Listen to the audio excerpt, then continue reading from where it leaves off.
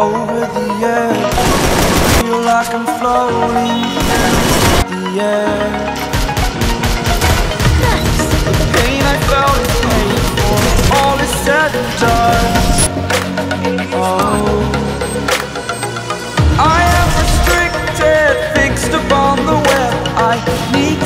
the habits of my